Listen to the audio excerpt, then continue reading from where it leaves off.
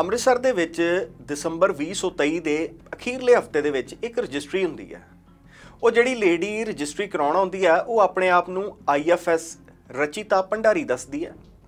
ਔਰ ਉਹਦੀ ਹੇਅਰ ਪਿੰਡ ਦੇ ਵਿੱਚ ਉਹਨਾਂ ਦੀ ਜਿਹੜੀ ਜ਼ਮੀਨ ਹੁੰਦੀ ਆ ਰੋਡ ਦੇ ਉੱਤੇ, ਤਾਂ ਉਹ ਕਹਿੰਦੇ ਵੀ ਇਹ ਜ਼ਮੀਨ ਮੈਂ ਜਿਹੜੀ ਹੈ ਇਹ ਸ਼ੇਰ ਸਿੰਘ ਨਾਮ ਦੇ ਇੱਕ ਵਿਅਕਤੀ ਨੂੰ ਸੇਲ ਕਰਨੀ ਹੈ ਉਹ ਸੇਲ ਕਰ ਦਿੰਦੇ ਆ। ਇਸ ਦੌਰਾਨ ਫੋਟੋਗ੍ਰਾਫਸ ਵੀ ਹੁੰਦੇ ਆ, ਕਿਉਂਕਿ ਰਜਿਸਟਰੀ ਜਦੋਂ ਹੁੰਦੀ ਆ, ਫੋਟੋਆਂ ਹੁੰਦੀਆਂ। ਕੁਝ ਦਿਨ ਮਗਰੋਂ ਰਚਿਤਾ ਭੰਡਾਰੀ ਹੋਣੀ ਜਿਹੜੇ ਐਕਚੁਅਲੀ ਆਈਐਫਐਸ ਨੇ, ਉਹਨਾਂ ਦੇ ਮਦਰ ਸੁਧਾ ਭੰਡਾਰੀ ਨੂੰ ਪਤਾ ਲੱਗਦਾ ਵੀ ਸਾਡੀ ਜ਼ਮੀਨ ਕਿਵੇਂ ਵਿਕ ਗਈ। ਇਹ ਤਾਂ ਮੇਰੀ ਬੇਟੀ ਰਚਿਤਾ ਦੇ ਨਾਮ ਤੇ ਸੀਗੀ, ਇਹਨੂੰ ਕਿਹਨੇ ਵੇਚ ਦਿੱਤਾ? ਇਹ ਤੇ ਅਸੀਂ ਵੇਚੀ ਨਹੀਂ। ਉਹਨਾਂ ਨੂੰ ਪਤਾ ਲੱਗ ਜਾਂਦਾ ਵੀ ਸਾਡੇ ਨਾਲ ਕਿਸੇ ਨੇ ਸਕੈਮ ਕੀਤਾ, ਠੱਗੀ ਕੀਤੀ ਹੈ।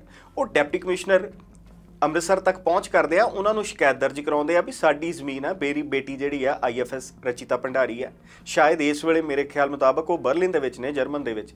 ਤੇ ਇਹ ਕਿੱਦਾਂ ਵਿਕ ਗਈ? ਡੀਸੀ ਸਾਹਿਬ ਇਨਕੁਆਇਰੀ ਮਾਰਕ ਕਰ ਦਿੰਦੇ ਆ। ਹੁਣ ਇਸ ਸਾਰੀ ਖਬਰ ਦੇ ਵਿੱਚ ਹੈਰਾਨੀ ਦੀ ਗੱਲ ਇਹ ਹੈ ਕਿ ਜਿਹੜੀ ਲੇਡੀ ਆਪਣੇ ਆਪ ਨੂੰ ਰਚਿਤਾ ਭੰਡਾਰੀ ਦੱਸ ਕੇ ਗਈ ਜਿਨੇ ਦੱਸਿਆ ਇਹ ਜ਼ਮੀਨ ਮੇਰੀ ਹੈ ਮੈਂ ਵੇਚ ਰਹੀ ਹਾਂ ਉਹਦੀ ਭਾਲ ਨਹੀਂ ਹੋ ਰਹੀ। ਫੋਟੋ ਹੋਣ ਦੇ ਬਾਵਜੂਦ, ਇੰਟਰਨੈਟ ਟੈਕਨੋਲੋਜੀ ਹੋਣ ਦੇ ਬਾਵਜੂਦ ਇੰਨਾ ਕੁਝ AI ਆ ਗਿਆ ਫੇਸਬੁੱਕ ਇੰਸਟਾਗ੍ਰam ਸੋਸ਼ਲ ਮੀਡੀਆ ਇੰਨੀਆਂ ਟੈਕਨੋਲੋਜੀਜ਼ ਆ ਗਈਆਂ, ਪਰ ਉਹ ਲੜਕੀ ਜਿਹੜੀ ਉਹ ਔਰਤ ਹੈ, ਉਹ ਅਣਪਛਾਤੀ ਹੈ, ਉਹਦੀ ਭਾਲ ਹੀ ਨਹੀਂ ਹੋ ਰਹੀ। ਔਰ ਜਦੋਂ ਉਹਦੇ ਡਾਕੂਮੈਂਟਸ ਨੱਥੀ ਕੀਤੇ ਜਾਂਦੇ ਆ, ਸਾਰੇ ਡਾਕੂਮੈਂਟਸ ਜਦੋਂ ਪ੍ਰੈਜ਼ੈਂਟ ਕੀਤੇ ਜਾਂਦੇ ਆ ਰਜਿਸਟਰੀ ਕਰਾਉਣ ਵਾਸਤੇ, ਤਾਂ ਇੱਕ ਜਾਲੀ ਆਧਾਰ ਕਾਰਡ ਜਿਹੜਾ ਉਹ ਵੀ ਦਿੱਤਾ ਜਾਂਦਾ। ਫਿਰ ਜਦੋਂ ਪਤਾ ਲੱਗਦਾ ਵੀ ਇਹ ਤਾਂ ਮਾਮਲਾ ਵੱਡਾ ਹੋ ਗਿਆ, ਉਹਦਾ ਜਿਹੜਾ ਆਧਾਰ ਕਾਰਡ ਲਗਾਇਆ ਗਿਆ ਸੀ, ਜਿਹੜਾ ਫੇਕ ਰਚਿਤਾ ਭੰਡਾਰੀ ਦਾ ਆਧਾਰ ਕਾਰਡ ਲਗਾਇਆ ਗਿਆ ਸੀਗਾ, ਉਹ ਆਧਾਰ ਕਾਰਡ ਜਿਹੜਾ ਉਹਦਾ ਫੋਟੋਕਾਪੀ ਲਾਈ ਸੀਗੀ, ਉਹ ਕੱਢ ਲੈਂਦੇ ਆ ਵਿੱਚੋਂ। ਉਹਦਾ ਵੀ ਨਹੀਂ ਪਤਾ ਲੱਗਦਾ ਵੀ ਉਹ ਆਧਾਰ ਕਾਰਡ ਕਿੰਨੇ ਕੱਢਿਆ। ਔਰ ਹੁਣ ਕਈ ਲੋਕਾਂ ਨੂੰ ਇਹਦੇ ਵਿੱਚ ਨਾਮਜ਼ਦ ਕੀਤਾ ਗਿਆ ਵੀ ਕਿਸੇ ਐਡੇ ਵੱਡੇ ਆਫੀਸਰ ਦੀ ਜ਼ਮੀਨ ਜਿਹੜੀ ਹੈ ਕੋਈ ਫੋਰਜਰੀ ਕਰਕੇ, ਕੋਈ ਧੋਖਾਧੜੀ ਕਰਕੇ ਵੇਚ ਗਿਆ ਤੇ ਪਤਾ ਹੀ ਨਹੀਂ ਲੱਗ ਰਿਹਾ। ਔਰ ਔਰਤ ਜਿਹੜੀ ਆ, ਉਹ ਪਛਾਣ 'ਚ ਹੀ ਨਹੀਂ ਆ ਰਹੀ। ਕੀ ਉਹਨੇ ਘੁੰਡ ਕੱਢ ਕੇ ਫੋਟੋ ਖਿਚਾਈ? ਜਾਂ ਉਹਨੇ ਜਿਹੜਾ ਨਕਾਬ ਪਾਇਆ ਹੋਇਆ ਸੀ ਮਾਸਕ ਪਾਇਆ ਹੋਇਆ ਸੀ, ਉਹਦੀ ਪਛਾਣ ਹੀ ਨਹੀਂ ਆ ਰਹੀ। ਪ੍ਰਸ਼ਾਸਨ ਨੂੰ ਪਤਾ ਹੀ ਨਹੀਂ ਲੱਗ ਰਿਹਾ ਵੀ ਇਹ ਔਰਤ ਕੌਣ ਹੈ। ਹੁਣ ਜਿੱਥੇ ਇਹ ਮਾਮਲਾ ਇਸ ਵੇਲੇ ਪੂਰਾ ਇਦਾਂ ਲੱਗਦਾ ਵੀ ਕਿਸੇ ਮਿਲੀ ਭੁਗਤ ਹੈ, ਕੋਈ ਬੰਦਾ ਇਹਦੇ ਵਿੱਚ ਜਿਹੜਾ ਉਹ ਸਰਕਾਰੀ ਅਫਸਰ ਮਿਲਿਆ ਹੋਇਆ ਜਿਹੜਾ ਇਹੀ ਮੁੱਕਰ ਗਿਆ ਵੀ ਇਹ ਔਰਤ ਦਾ ਪਤਾ ਹੀ ਨਹੀਂ ਲੱਗ ਰਿਹਾ। ਹਾਲਾਂਕਿ ਥਾਣਾ ਸਿਵਲ ਲਾਈਨ ਅੰਮ੍ਰਿਤਸਰ ਦੇ ਵਿੱਚ ਇਹ ਮਾਮਲਾ ਜ਼ਰੂਰ ਦਰਜ ਕਰਾ ਦਿੱਤਾ ਗਿਆ ਕਿ ਇੱਕ ਐਡੇ ਵੱਡੇ ਆਫੀਸਰ ਦੀ ਜਿਹੜੀ ਜ਼ਮੀਨ ਹੈ, ਉਹ ਧੋਖਾਧੜੀ ਦੇ ਨਾਲ ਵੇਚ ਦਿੱਤੀ ਗਈ ਹੈ। ਪਰ ਔਰਤ ਜਿਹੜੀ ਹੈ, ਉਹ ਅਣਪਛਾਤੀ ਹੈ। ਜਿਹੜੇ ਇਹਦੇ ਵਿੱਚ ਗਵਾਹ ਸੀਗੇ, ਉਹ ਸਾਰੇ ਨਾਮਜ਼ਦ ਕਰ ਲਏ ਆ ਗ੍ਰਿਫਤਾਰੀ ਕਿਸੇ ਦੀ ਨਹੀਂ ਹੋਈ ਹਾਲੇ ਤੱਕ। ਪਰ ਇਹ ਨਹੀਂ ਪਤਾ ਲੱਗ ਰਿਹਾ ਇਹ ਔਰਤ ਕੌਣ ਹੈ।